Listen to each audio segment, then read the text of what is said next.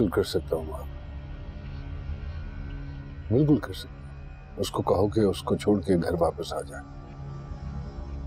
उससे अपना रिश्ता खत्म कर ले। अगर ये रिश्ता निभाना है तो। तुम कौन होते हो मुझसे पूछने वाले? मैंने तुमसे पूछा कि तुम निदा के साथ खुश हो या नहीं? नहीं। मैं खुश नहीं हूँ। तो फिर क्यों की थी शादी? किसने कहा था? गलती हो गई तो बिल्कुल तुम्हारे जैसी नहीं है। हाँ वो नहीं है मेरी जैसी। उसकी अपनी शख्सियत है और मेरी अपनी। तुम उसे निदा समझ के अपनाओगे तो तुम्हारी गलती सुधर जाएगी। ये कैसी तेरी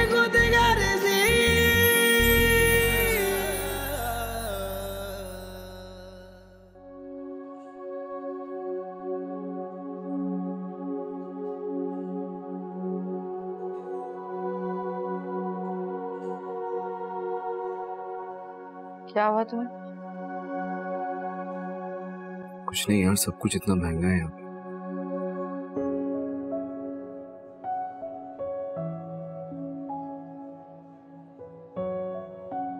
लेकिन तुम तो कई बार आए होगे ना इस कैफ़े में।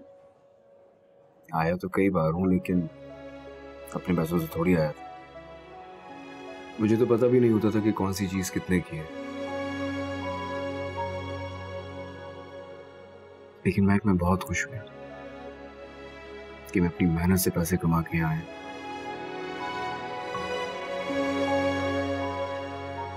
पहले कभी एहसास नहीं हुआ कि ज़िंदगी में अपनी मेहनत से पैसे कमाना इतना मुश्किल होता। है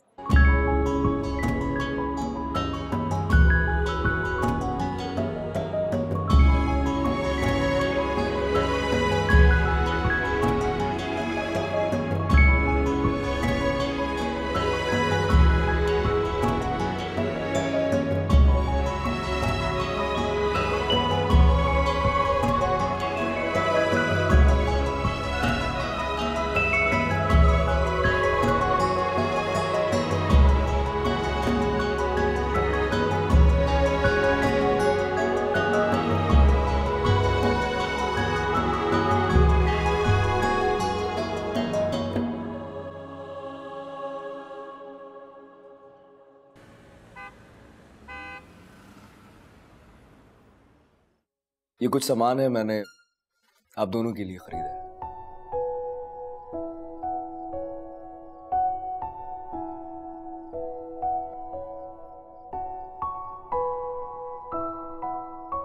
इसकी क्या ज़रूरत थी? अंकल ये खरीदने के लिए मुझे मैट ने नहीं कहा। मुझे मेरी पहली सैलरी मिली।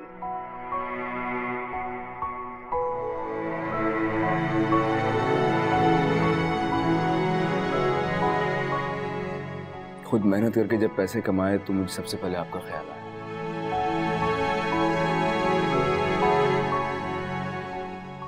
आपकी मेहनत का, आपकी शराफत का,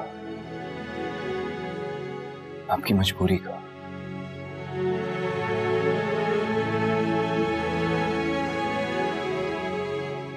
बहुत सारी चीज़ों का ख्याल मुझे मेरी पहली कमाई ने दिला दिया। अंकल, आप इसको मेरी तरफ़ से थैंक्स समझें या सॉरी वो आपका फैसला होगा।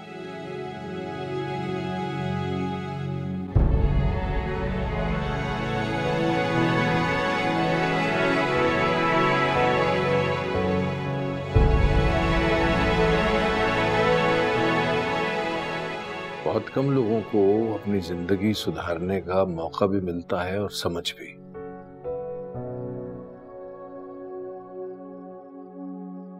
तुम खुश नसीब हो कि तुम्हें यह मौका मिल गया।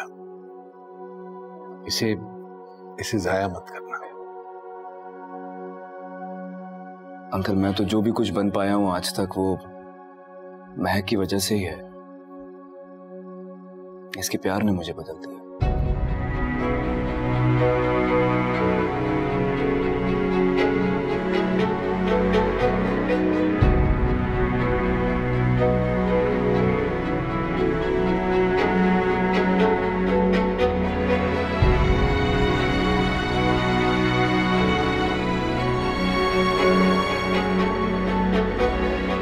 करता हूँ कि आपने मुझे माफ़ कर दिया होगा।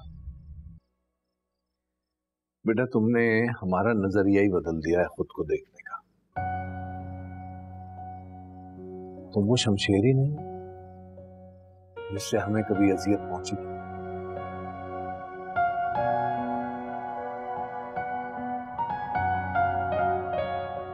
हमारा दिल साफ़ है बेटा, बस खुद को बदलना मतलब कभी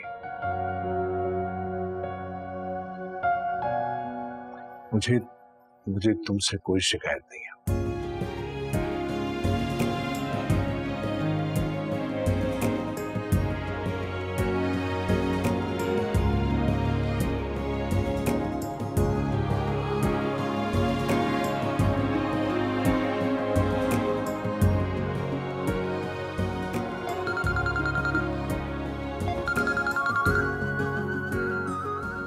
स्टोर से कॉल। मैं आता हूँ।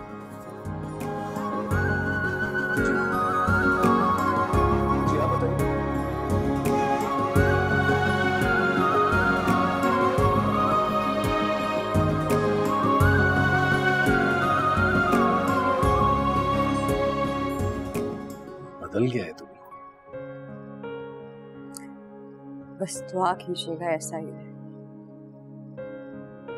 अब नहीं बदलेगा। ऐसा ही रहेगा।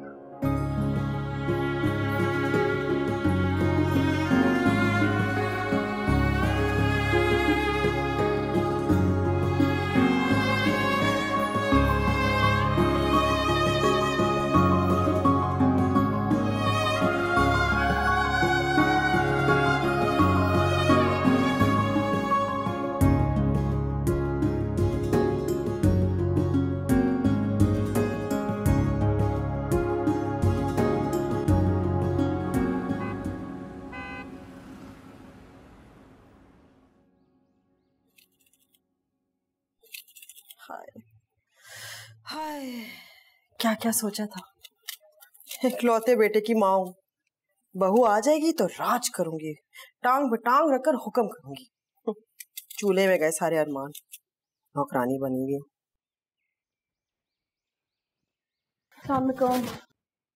लाई मुझे दे मैं काट देती हूँ। हैं? तबीयत तो ठीक है तुम्हारी? हाँ हैं? आज सूरज कहाँ से निकला है? वैसे तो मुँह उठाकर चली जाती हो कॉलेज। आज किचन में आने का ख्याल कैसे आ गया? सोचिए एक ना एक दिन हर इंसान अपने आप को बदलता है। हम्म। और मैं भी अपने आप को बदल। शायद पहले मेरा तरीका ही गलत था। हम्म। अब से रोज़ाना नाश्ता बनाऊँगी उसके बाद कॉलेज जाऊँगी। तुम्हारी बहुत मेहरबानी। ऐसा कुछ ना करो। आज बदली हो कल फिर बदल जाओगी। हैं? फिर हम क्या करेंगे? वैसे भी माशाल्लाह तलवार जितनी तेज तुम्हारी जबान है कौन मुँह लगेगा तुम्हारे? फिर चाचू को जाकर शिकायत करोगी अपने बाबा को करोगी। ठीक है हमें अपने हाल पे रहने दो हाँ?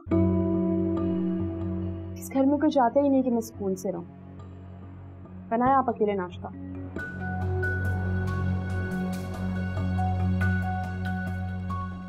काश मैंने ऐसे रेहान की माँ से बात की होती।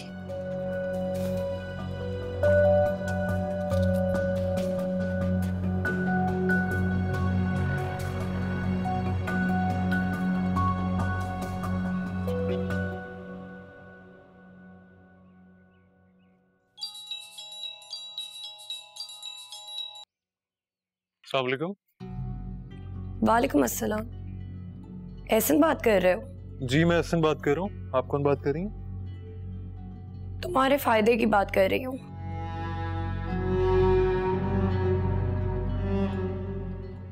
क्या मतलब? मैं कुछ समझा नहीं। पार्किंग लॉट में एक गाड़ी खड़ी है। गाड़ी का नंबर तो मैं मैसेज कर दिया। मिलकर सब समझा दूँगी। लेकिन मैं आपसे क्यों मिलना चाहूँगा? क्या तुम शमशेर से बदला नहीं लेना चाहते? देखिए मैं बिल्कुल नहीं समझ पा रहा आप क्या कहना चाहती हैं? तभी तो कह रही हूँ कि मिलकर हर बात समझाऊँगी। तुम शमशेर से बदला लेना चाहते हो? और हम महक को शमशेर से अलग करना चाहते हैं। हम दोनों का मकसद एक ही है। इसीलिए कह रही हूँ गाड़ी में बैठो। मैं इंतज़ार कर रही हूँ।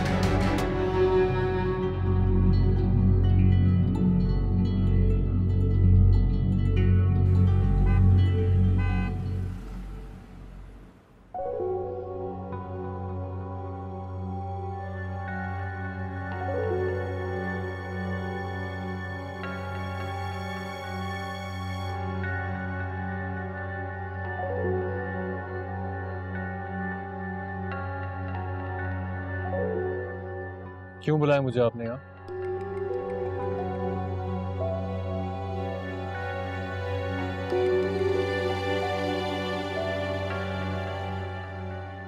बुलाया इसलिए है क्योंकि हमारा मकसद एक है। मगर हम अलग अलग कोशिश करते रहे, इसलिए कभी कामयाब नहीं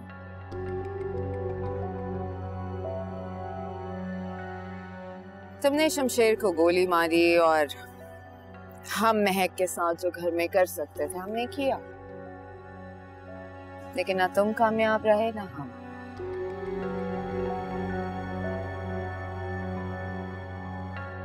जब आज तक कामयाब नहीं हुए तो अब कैसे होंगे? और वैसे भी अब तो उनकी शादी हो गई है। उनकी शादी क्यों हुई है? ये बात भी हम सब बहुत अच्छी तरीके से जानते हैं। थोड़ी देर से ही सही। मगर उसका मकसद ज़रूर पूरा होगा। जो बात आप जानती हैं वो गलत है। महक ने शमशेर से पैसों के लिए शादी नहीं की थी।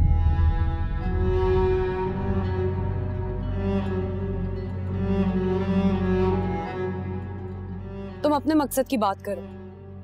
तुम जो चाहोगे तुम्हें वो मिलेगा। बस तुम्हें वो करना होगा जो हम तुमसे कहेंगे। देखो तुम्हारी फ़ायदे की बात कर रही है। पैसे अलग मिलेंगे और महक अलग हाँ चाहता था मैं महक को शायद अब भी चाहता हूँ।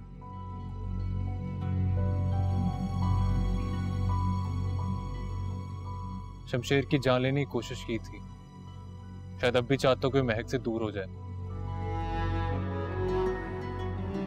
लेकिन मैं ये भी जानता हूँ कि जो मैं चाहता हूँ वो गलत है। मैं आप दोनों के काम नहीं आ सकता। और बेहतर ये होगा कि आप दोनों भी इस बात से दूर रहें।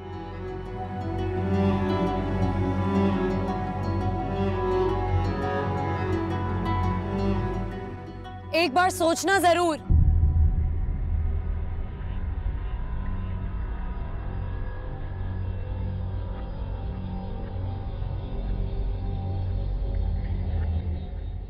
ज़रूरत नहीं पड़ेगी इसकी।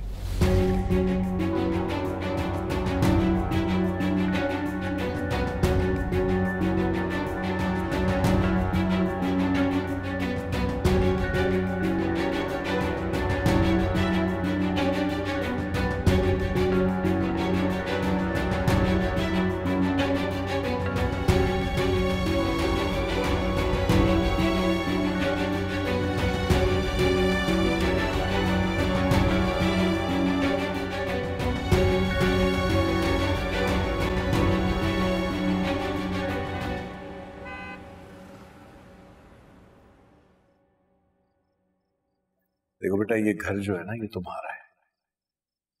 तुम जब चाहो, जिस वक्त चाहो, अपने बाप से मिलने के लिए आ सकती हो।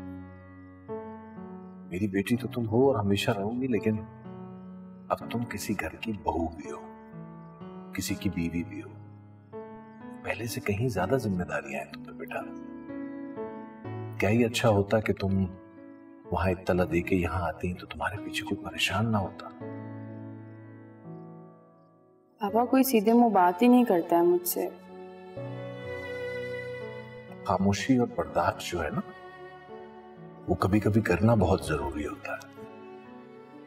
कभी कभी लोगों की गलत बातों को बर्दाश्त करके भी अपना आप सही साबित किया जा सकता है।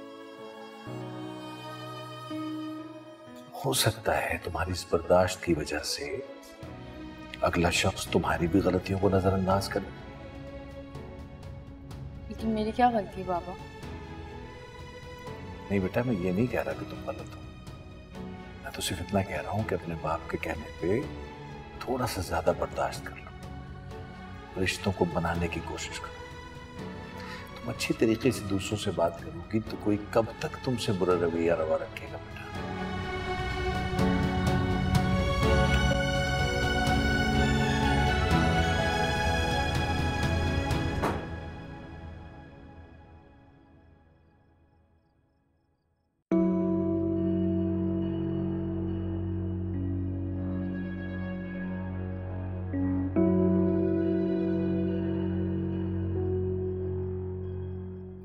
आज कोई शिकायत नहीं करोगी? नहीं। तुम्हारी तबीयत तो ठीक है ना? हम्म। कोई बात हुई है घर में?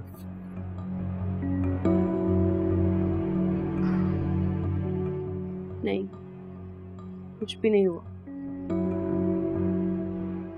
तो फिर ऐसे चुप क्यों बैठी हो? क्यों? इसमें भी कोई प्रॉब्लम है? नहीं। प्रॉब्लम तो नहीं मगर मोस्टली ऐसा होता ही ना इस घर में। अमूमन जब घर आता हूँ तो तुम हर बात पर शिकायत करती हो मुझसे लड़ती हो। आज तुम बिल्कुल चुप हो। खुद को बदलने की कोशिश कर रही थी। लेकिन लग रहा है सारी कोशिशें अब बेकार ही जाएँगी।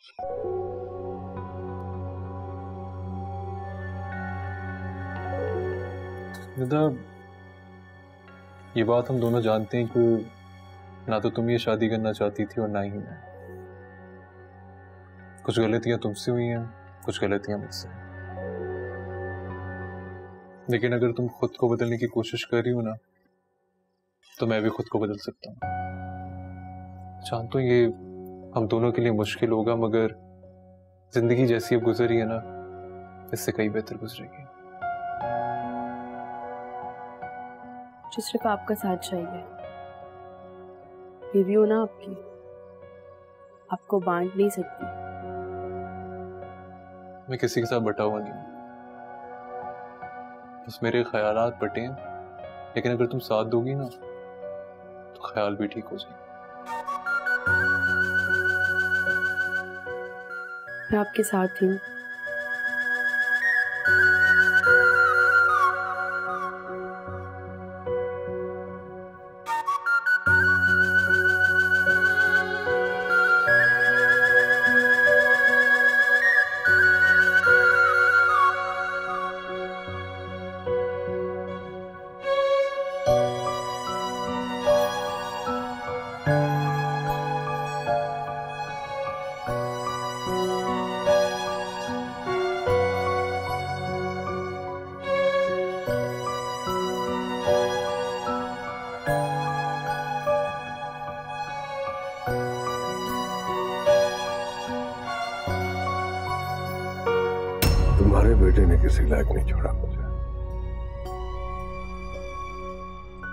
इतना ही सोच लेता कि मैं उसका बाप।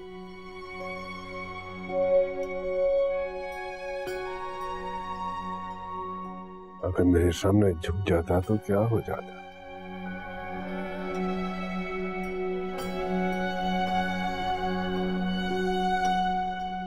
माफ़ी भी नहीं मांग सकता क्या वो मुझसे? ये कैसी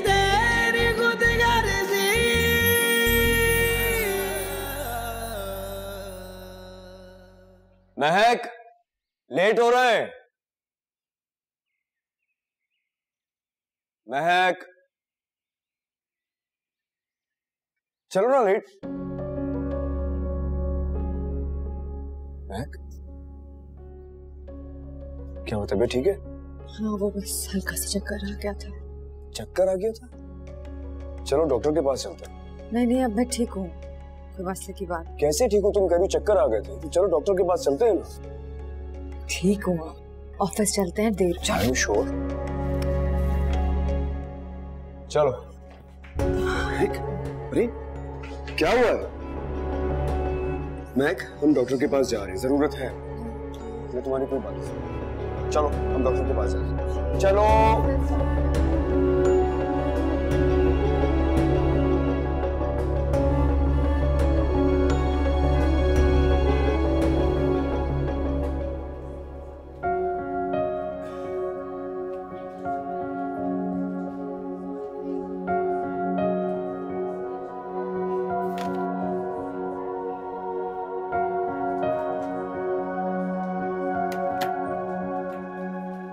मिस्टर शमशेर जी। आपको डॉक्टर साहब अंदर बुला रहे हैं। जी।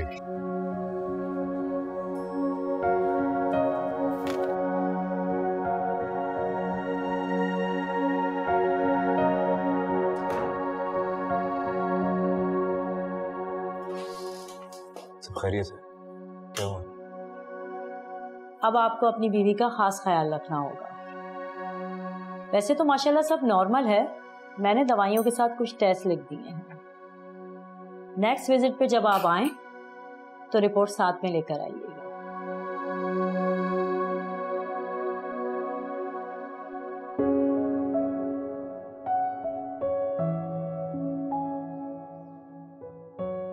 डॉक्टर अगर सब कुछ नॉर्मल है तो ये टेस्ट और दवाइयाँ कैसी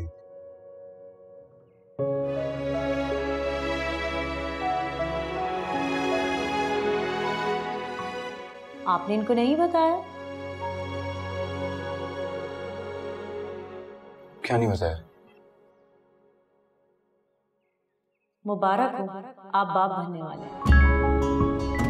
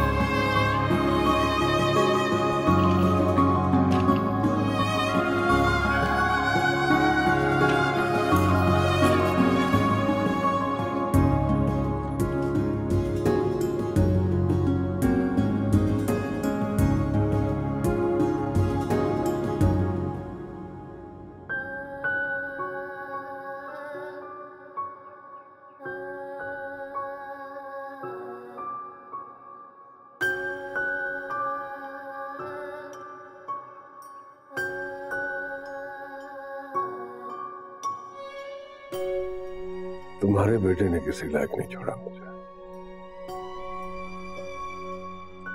इतना ही सोच लेता कि मैं उसका बाप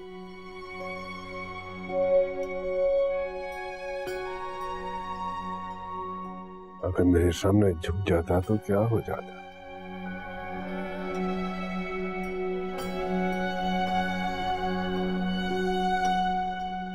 माफ़ी भी नहीं मांग सकता क्या वो मुझसे?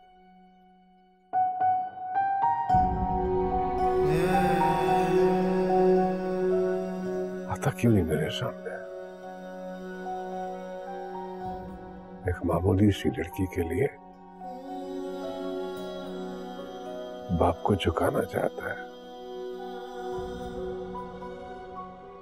जानता भी है कि मुझे सर झुकाना नहीं आता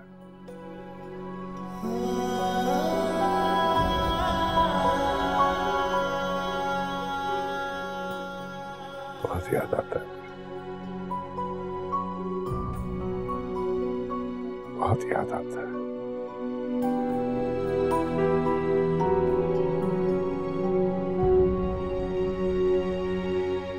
जिसकी वजह से मेरे घर का सुकून बर्बाद हुआ है। जिसकी वजह से मेरे घर की खुशियाँ लुटी हैं। उसे बर्बाद कर दूँगा मैं। छोड़ूँगा नहीं। खत्म कर दूँगा सब कुछ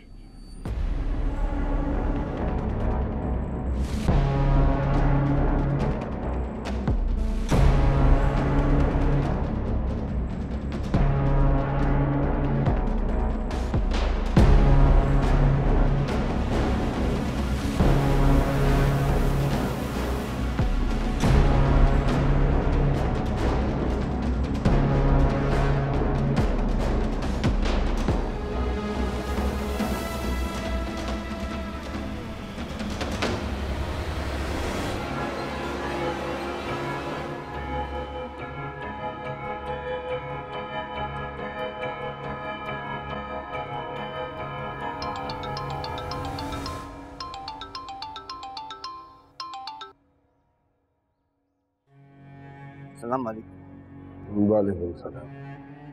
क्या बना काम का? आप बेफिक्र हैं मालिक काम हो जाए। ख्याल रखना इस मरतबा कोई गलती नहीं होनी बिल्कुल ऐसा ही होगा मालिक। काम होते ही फ़ोन करता हूँ आपको।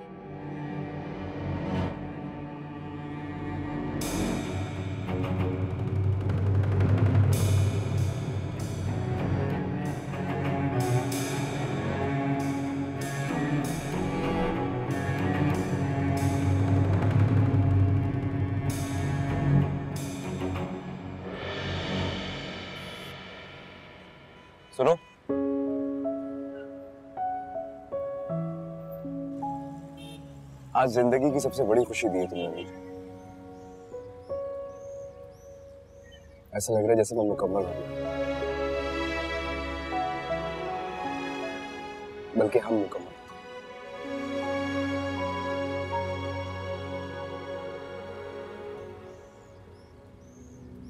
बाहर आ गया। चल जा शाबाश। मैं कह लव यू चलो जाओ। और हाँ बात सुन शमशेर साहब को कुछ नहीं होना चाहिए। बेफिक्र काम होना चाहिए। अरे मेरा काम तो गली नहीं लगेगा अब। जाओ भाई।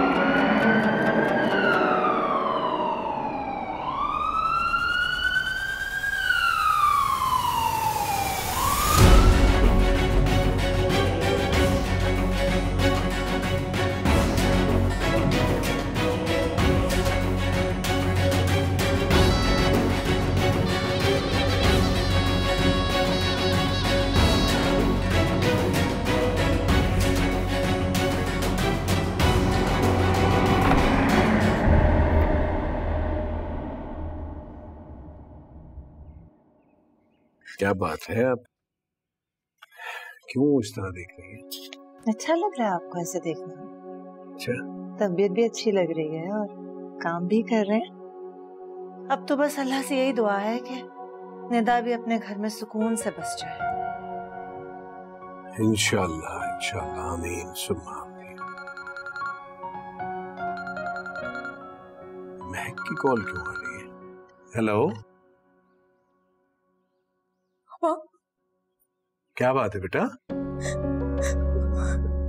क्या बात है बेटा तुम? तुम इतनी घबराई हुई क्यों? क्या हुआ है? मामा शमशेर। क्या हुआ शमशेर को? बाबा शमशेर को घूमने लगी है। वो हॉस्पिटल में। क्या? अब भी जल्दी आ जाए। फिर उनकी हालत ठीक नहीं है जल्दी आ जाए। देखो बेटा हम हम अभी अभी निकल रहे हैं अभी आ रहे हैं तुम्हारे पास ठीक है? तुम तु, तुम घबराना नहीं ठीक है? परेशान नहीं होना बेटा हम आ रहे हैं।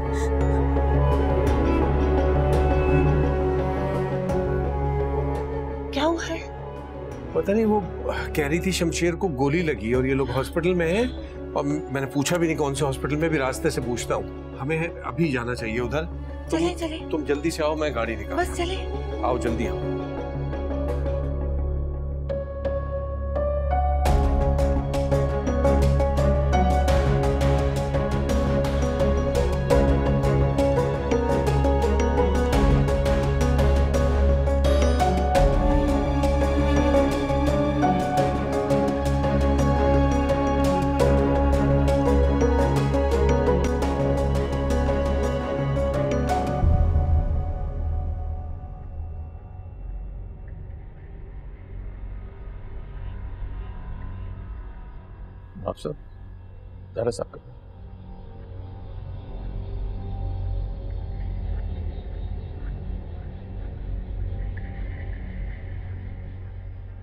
हाँ तुम कब पहुँचे? कैसे कर लेते हैं आप ये ये क्या कर दिया आपने? क्या हो गया है? दिमाग तो ठीक है तुम्हारा कैसी बातें कर रहे हो? शमशेर पर कातिलाना हमला हुआ है। हॉस्पिटल में है वो। ही सीरियस